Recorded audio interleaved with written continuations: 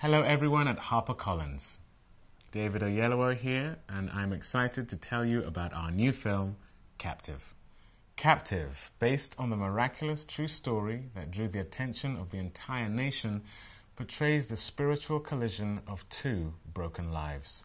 It shows how God truly works and is a powerful opportunity to reflect on living a purpose driven, faith filled life. I hope you enjoy this special sneak peek of the film before it hits theaters nationwide on September 18th. Please share it with your family and friends.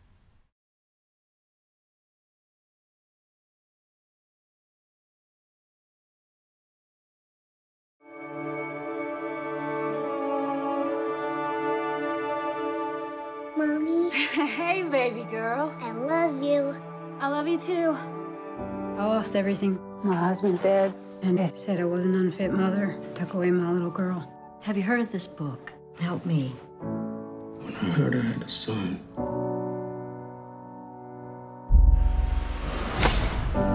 I had to break out.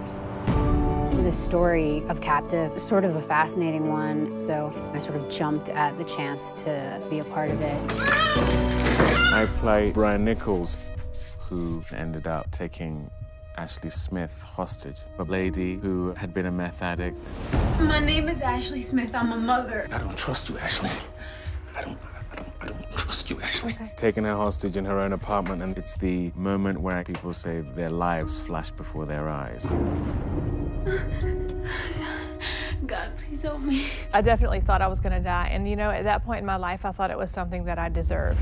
And I had reached out to God for help. And then when He began to help me, I would push Him away. And I thought to myself, my life as a mother means nothing right now. My life as a, a decent human being means absolutely nothing. You are her mother, and you need to start acting like it. You've, you've broken just about every promise you've ever made to her. And when I was faced with that gun in my face, I just thought, you know what?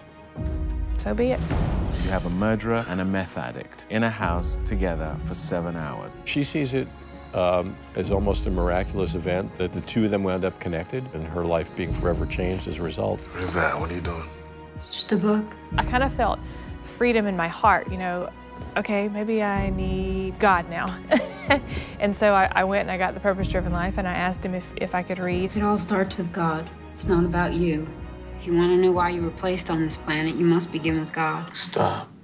And so I guess God just began to bring things to my mind and to my heart to kind of share with him at that moment. God expects you to make the most of what you have been given. I haven't been given anything. You have a son. I'm never gonna see him again, am I? If you stop what you're doing and give yourself up, maybe you will. My faith as a Christian, it's the cornerstone of my life. And Captive is a universal story to me of the power of a modern day miracle. Are you sure you're all right? Thank you, sir. We appreciate it.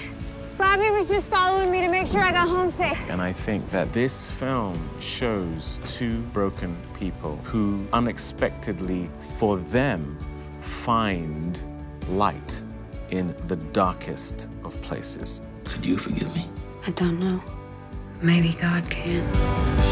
So I will call upon your name.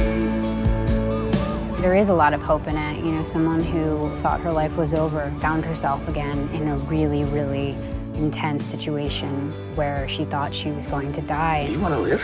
I do.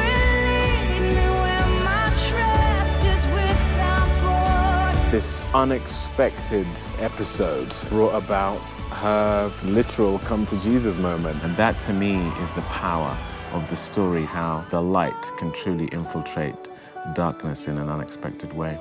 It's not too late, Brian. There is purpose in your life. I am yours, and you